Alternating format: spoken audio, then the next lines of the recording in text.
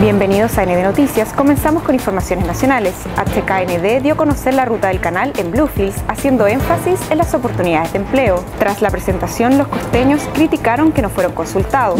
Un grupo de feministas se manifestaron cerrando el tráfico en Carretera Norte. Frente a la Corte Suprema, las mujeres se pronunciaron contra el artículo que castiga el aborto terapéutico.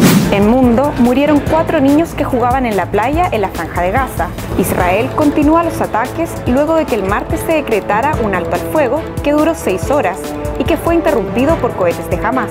En deportes, la Federación Alemana de Fútbol pidió perdón a Argentina por la danza del gaucho.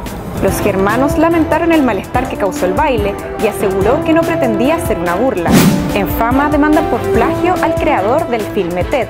Acusan al escritor Seth MacFarlane que el oso de peluche es copiado de una serie de internet. Para informarse de estas y otras noticias puede ingresar a www.elnuevodiario.com.ni y nuestras redes sociales.